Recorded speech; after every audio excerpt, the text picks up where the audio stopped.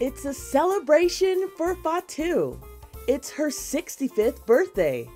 This sweet primate lives at Berlin Zoo and is the world's oldest living gorilla. The life expectancy for a gorilla is about 40, so at 65, Fatou is a legend. In human years, that's over 100 years old. As you can see, she's living her best life and doing what we all love to do on birthdays grub on cake.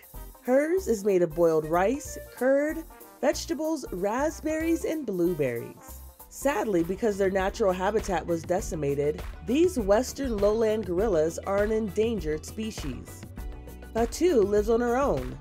In a group setting, the younger and stronger animals bullied her and took her food. So she's living out her days solo. But she seems to be enjoying the peace, quiet, and good treats.